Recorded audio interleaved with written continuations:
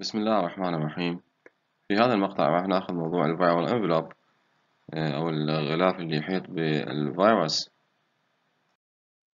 وعندنا أسئلة مهمة نحاول نجاوب عليها آه، بالبداية نريد نعرف شنو هو ال viral envelope ومين يحصل الفيروس على ال envelope وهل وجود ال envelope آه، للفيروس يعطيه stability أو instability وهل الفيروسات ال enveloped اللي تكون مغلفة تكون more sensitive or resistant لل heat drying detergents وال lipid solvents مثل الكحول والإيثر؟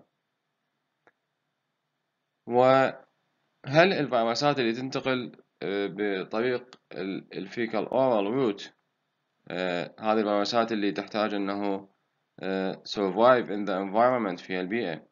هل هذه الفيروسات عادة تكون من نوع عندها envelope أو ما عندها وبيا طريقة غالبا هذه الفيروسات اللي عندها غلاف ال enveloped viruses تنتقل. فنحاول آه، نجاوب على هذه الأسئلة في هذا المقطع. ال viral envelope هو lipoprotein membrane وهذا ال membrane متكون من lipid وبروتين ال lipid ياخذ الفيروس من ال host cell membrane يعني من ال membrane للخلية المضيفة اللي كان فيها الفيروس. أما بالنسبة للبروتين فهو يكون من نوع ال virus specific يعني خاص بالفيروس. وهناك عادة glycoproteins على شكل spike projections على السطح. وهذه ال glycoproteins attached to host cell receptors during the entry of the virus into the cell. هذه ال glycoproteins آه، تلتصق أو ترتبط بمستقبلات على سطح الخلية المضيفة أثناء دخول الفيروس إلى الخلية. الآن ننتقل إلى السؤال اللي يقول أنه الفيروس منين يحصل على ال envelope The viral envelope is acquired as the virus exits from uh, the cell in a process called budding إذا الفيرال envelope يأخذ الفيروس عندما يخرج من الخلية بعملية تسمى البودينج وهذا الانفلوب of most viruses is derived from the cell's outer membrane. يعني عادة هذا ال membrane اللي ياخذ الفيروس عادة يكون من ال cell's outer membrane يعني ال membrane الخارجي للخلية. ولكن هناك exception هناك آه، آه، نوع من الفيروسات آه، يكون استثناء من هذه القاعدة وهو ال herpes viruses that derive their envelope from the cell's nuclear membrane. فيروسات الهربس تأخذ ال membrane مالتها من ال nuclear من ال nuclear cell's nuclear membrane.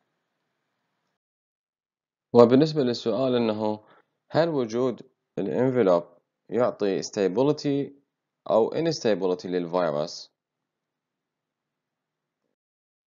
الجواب أنه in general the presence of an envelope confers instability on the virus إذا بصورة عامة وجود ال envelope آه، يؤدي إلى instability يعني عدم الاستقرارية للفيروس أما بالنسبة لمقاومة الهيت أو الدراينج أو الديترجنتس أو الليبيد سولفنت مثل الكحول والإيثر.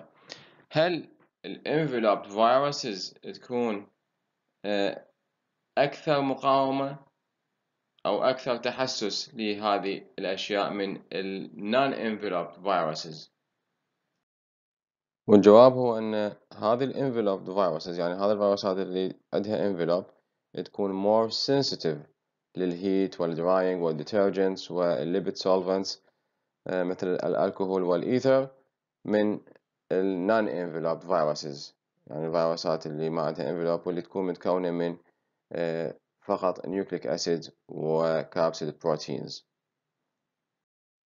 والسؤال الآخر أنه هل الفيروسات اللي تنتقل بواسطة ال feco oral route آه هذه آه تكون من النوع اللي يعني عندها envelope لو تكون من النوع اللي non envelope آه لأن هذه الفيروسات تحتاج أنه survive in the environment لفترة معينة.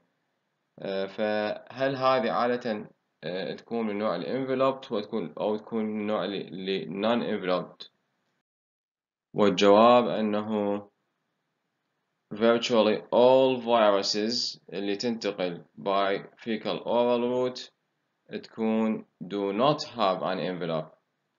يعني أنه تكون من النوع اللي naked nucleocapsid viruses.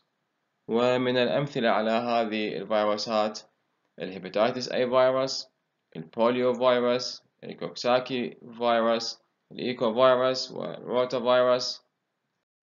أما بالنسبة للسؤال اللي هو بأي طريقة هذه الفيروسات اللي عندها آه، غالبا تنتقل الجواب أنه ال enveloped viruses uh, are most often transmitted by direct contact uh, اللي هو قد يكون by مثلا uh, blood or by sexual transmission ومن الأمثلة على هاي الفيروسات ال HIV اللي هو ال Human Immunodeficiency Virus أو ال Herpes Simplex Virus Type 2 أو ال Hepatitis B and C viruses وأكو other enveloped viruses uh, transmitted directly by uh, إما insect bite ومن الأمثلة عليها ال yellow fever virus وال West Nile virus أو قد يكون by animal bite مثل ال rabies virus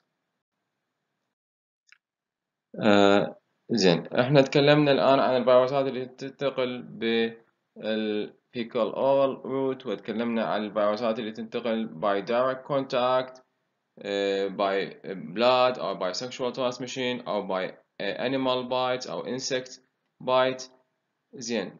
فيما يخص الفيروسات اللي تنتقل عن طريق ال respiratory droplets يعني قطرات من الجهاز التنفسي. هاي الفيروسات شنو أثر الغلاف إذا كانت هذه الفيروسات enveloped أو non enveloped هناك الكثير من ال enveloped viruses تنتقل من شخص لآخر عن طريق ال respiratory aerosol droplets ومن الأمثلة عليها الإنفلونزا فيروس الميزلز فيروس الرابيلا فيروس والريسبيراتوري سينسيشال فيروس والفاريسيلا زوستر فيروس.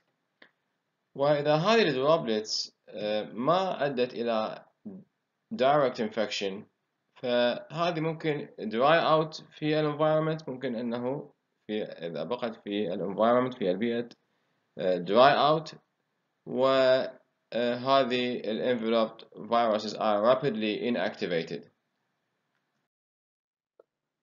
وهناك نوع من الفيروسات اللي تنتقل بال respiratory droplets اللي هي ال rhinoviruses هذه الفيروسات هي من النوع اللي naked nucleocapsid viruses. هذه الفيروسات ما عندها